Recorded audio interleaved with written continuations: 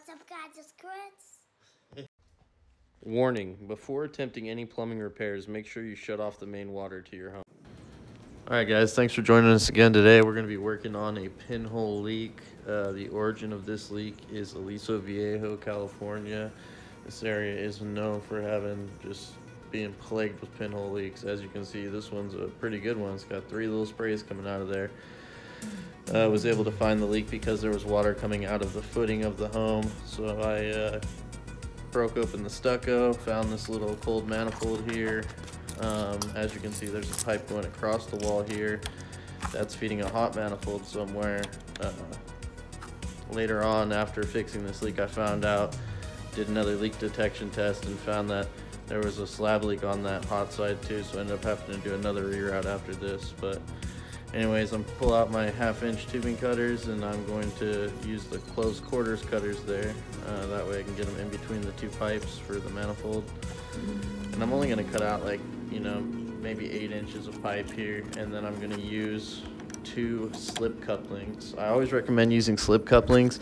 I know a lot of guys are like scared of them and sh shy away from them and stuff, but when you're doing these type of uh, uh, repairs, you really need a slip coupling, at least one uh, slip coupling, and uh, some of them are called repair couplings, but they're basically just couplings with no stops. Uh, that way you can slide it up the pipe like you'll see me do in this video here. Right here I'm trying to show you the inside of a pipe that has had a pinhole. It's like this weird little like mound that uh, begins to form on the inside of your pipe and it's basically the chemical chloramine has accumulated there. It's stuck to the side of the pipe with the hard water and begun to eat its way through the pipe. And it's basically like what you're seeing is like a chemical reaction on the inside, slowly deteriorating the copper from the inside out. Uh, that's why I recommend if you've had one or two pinholes in the past five years, you definitely want to consider repiping before it becomes a major problem for you. Um, PEX pipe is a great alternative. Uh, there's many different ways and things you can do with PEX pipe. Uh, that's what I would repipe your home with, and uh, that's what I highly recommend using. It's a proven and tested material, and I think 9 of 10 plumbers you call will tell you that PEX is the way to go. I don't know if you can see it here, but I'm putting together like a pinhole documentary type deal. So it will be more visible and it will be explained a little bit more in depth when I get that documentary type video out.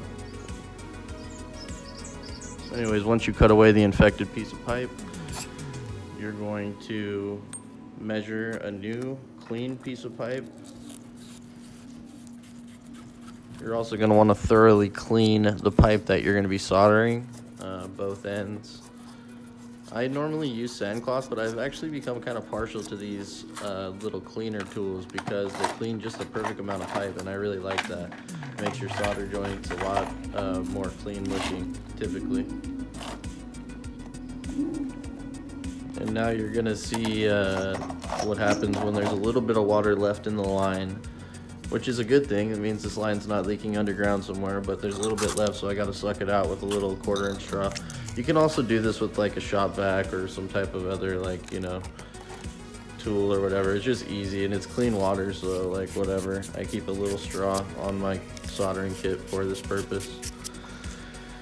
Here I am cleaning the uh, two pieces, uh, the two fittings, the two slip couplings, and I'll also be cleaning the uh, little piece of pipe um, this tool that I'm using is awesome. It's like it's made by Blue Magic, I believe, or Blue Monster, and uh, it's called the uh, trip. I forget some. I don't want to butcher the name right now, but anyways, it's a cool little tool. Look into it, and then.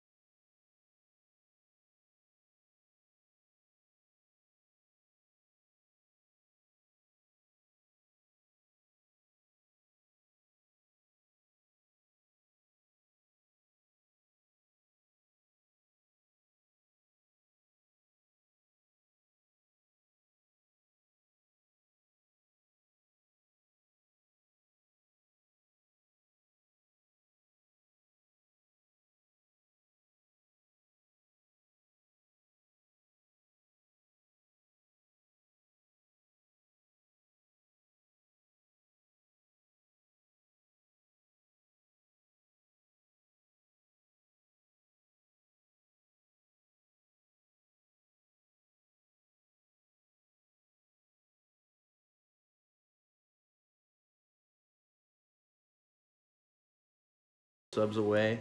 Make sure you're part of that, guys. Comment. Um, we're going to be choosing random subscribers and comments, and we're going to pull them together and then choose out of that who gets the the prize. So make sure you like, subscribe, comment, and uh, you know tell your friends, guys. Please help us reach 500. And after 500, we're on our way to a thousand. So this is how I solder. Um, I use the capillary effect where you heat one side of the copper and feed the solder into the other side. Um, you start from the bottom and work your way up because heat rises. Um, the theory is when you're the the flame, the heat from the flame will actually pull the solder into the joint. Um, it works really well normally. Sometimes you'll see me kind of paint the joint a little bit with my solder. It's just kind of, I've had a couple different situations when I was uh, maybe a year or two ago. Uh, and yeah, it was rough. So after that, you're gonna wanna make sure you really thoroughly clean this pipe. Uh, wipe it down really well. Um, if it's gonna be exposed to the elements, I'd spray a little bit of WD-40 on it and then wipe it down again. Uh, but yeah, you're gonna wanna clean it up really well. Make sure there's none of your flux uh, left on the pipe.